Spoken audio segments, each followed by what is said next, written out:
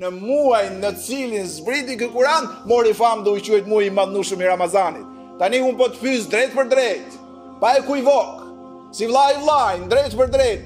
Tani kur muajit i dha kaq famë, po natën që ai zbriti. Nata e kadrit pra. Se duhet t'japim logjikë Se edhe njerëzit që janë jashtë, thojnë po Ramazan, po pse si muajt e tjerë kanë drejt, derisa ne t'i shpjegojmë pse ky muaj u bë me famë. Sepse në natën e bekuar, në natën e madhërishme të kadrit, ka zbrit Kurani famëlartë dhe atë natë e bëri më të vlefshme se një mijë muaj. Kurse muajin gjithë pastaj i dha begatitë e tjera që flasim ne. Pra muaji mori shumë begati dhe vula u vendos në natën e kadrit. Sepse Kurani famëlartë zbriti dhe është gjëja më e vyshme dhe më e vlefshme për të besu dhe për t'u lidhë me Zotin e gjithësisë.